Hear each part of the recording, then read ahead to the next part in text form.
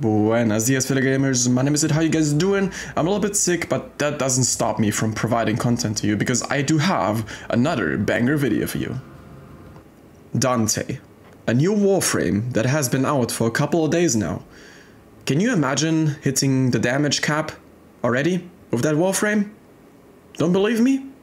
I'll show you. Okay, I just want you to take a look at this. This happened during Duviri Circuit Steel Path. I'm gonna zoom in a little bit so you can actually see it more. Just give me a sec. You see this number? 2 billion damage. What the fuck is this? That's a lot of damage. One important thing I have to mention in advance is that this build that I'm gonna show you is not directly from me. It's from a very good friend of mine. He's been using this during Duviri Circuit Steel Path and I was like, bro, what in the blue hell? What is that amount of damage you're dealing? I mean, my Octavia that I was playing was doing pretty great too. Like she was doing a ridiculous job, you know, reflecting all the damage. You know, we all know how great Octavia is, but this Dante build, Jesus, I'm gonna show you right now. Also, if you're curious, um, there's a new simulacrum that they added. It's called the Sanctum Simulacrum. You can go to Loid, you can go to Dante Research, and you can literally buy that for 75 of whatever that currency is called. I believe it's Vessel, yeah, if I remember correctly. Yeah. Either way, let's go now. Okay, I will do my absolute best to break down the abilities so it's very simple and everybody can understand it. The first thing you can do with Dante is you press the second ability button twice, and as you can see, it is a double light version in the book. Um, now, if you press your fourth ability, you're gonna see that you're gonna get Overguard. You already got Overguard, but if you press your fourth ability, you're gonna get even more Overguard. Look at that. And this also applies to teammates. Method number two. Press light, press dark, and you're gonna get a book. So what does this book do? This book is like a mini Mirage, clone, Spectre, however you want to see it. Because if you shoot, it's gonna duplicate the damage. You can't see it shooting, but it's actually shooting, okay? Method number three. Dark, two times.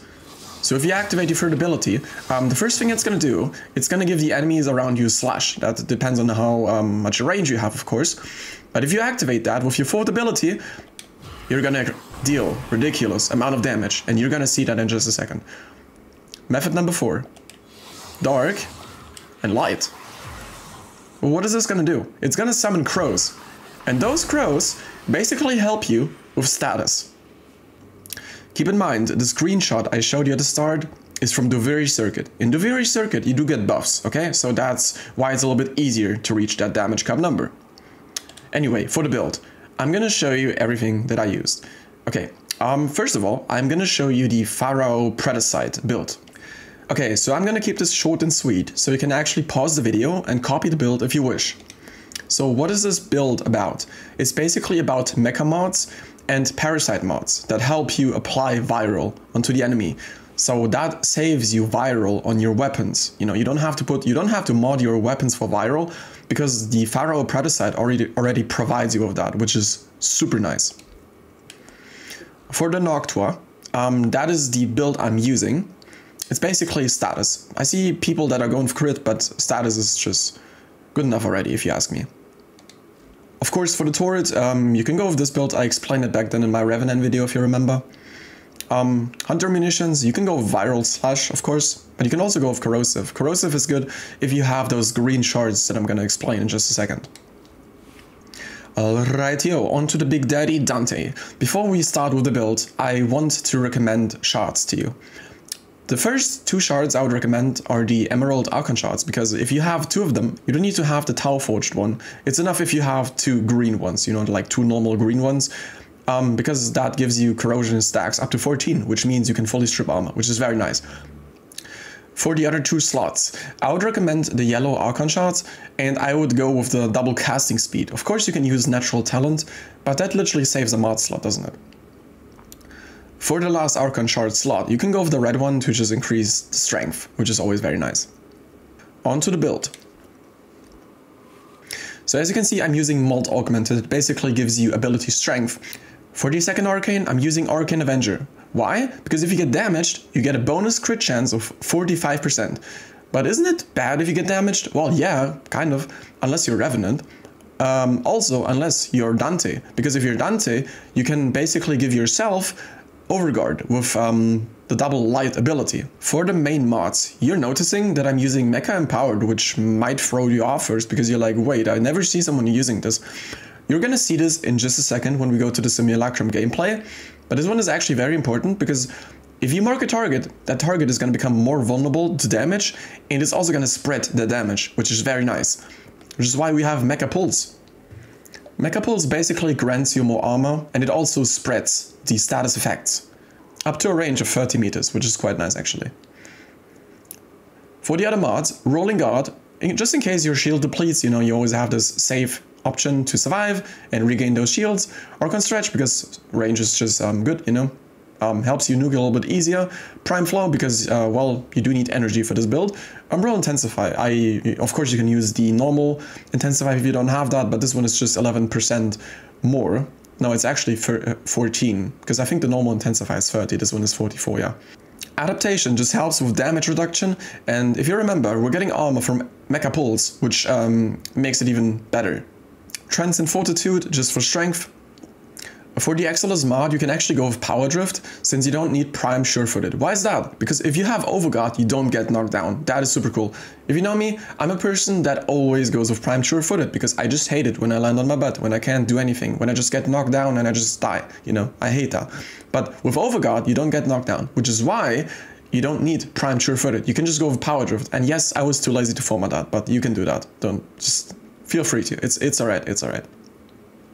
So what we're gonna do now is we're gonna spawn corrupted heavy gunners because they do have a ton of armor and it's very very good in showcasing that. So we're just gonna spawn 20 of them.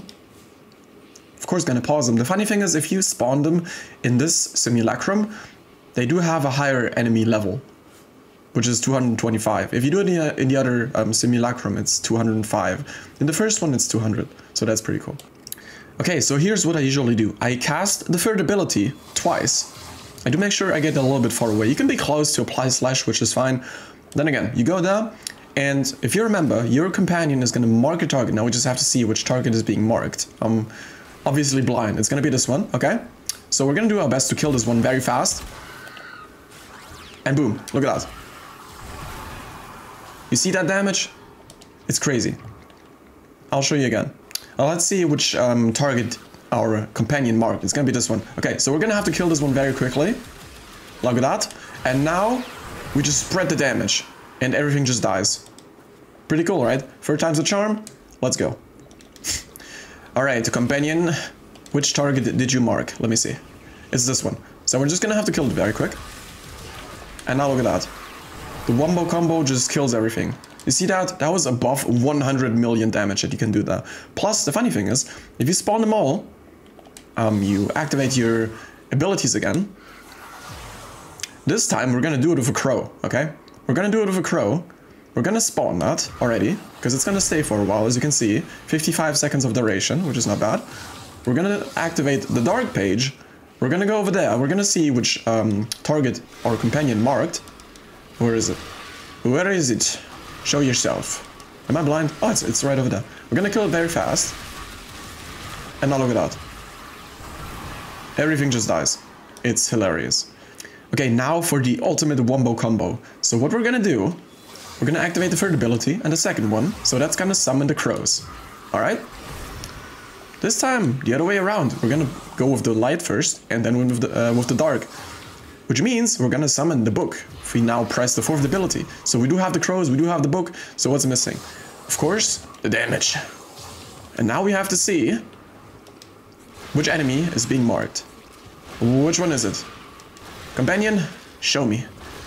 There's one thing I don't like, is that sometimes you can't see uh, too well which one is marked and which one is not, actually. You just have to wait a little bit. Oh, it's this one, okay. So we kill this one, and now look at that. Like, the funny thing is, I couldn't even nuke them because they just died instantly. That's how much damage you do with this. You, you can't... I didn't even have to use my fourth ability to just nuke them. You see that they just like died right away, which is super funny. Alright, that's gonna do it for this video. As you can see, the Predator is already jiggling, so um, how about we just jiggle too? Just jiggle a little bit. that's gonna do it for this video. I hope you all enjoyed. Make sure to like and subscribe, and I'll see you in the next one.